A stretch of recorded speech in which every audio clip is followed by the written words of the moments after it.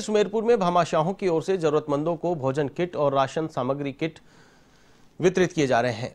इसके तहत रविवार को बल्लूपुरा ग्राम पंचायत में इंदिरा देवी पत्नी उम्मेद मल जैन की तरफ़ से ग्राम पंचायत को 100 भोजन के किट दिए गए। इस मौके पर सेक्टर प्रभारी रविंद्र त्रिवेदी, सरपंच मगाराम देवासी, ग्राम विकास अधिकारी भरत सिंह, आरआई फूलाराम मीणा और पटवारी मालम सिंह मौजूद रहे।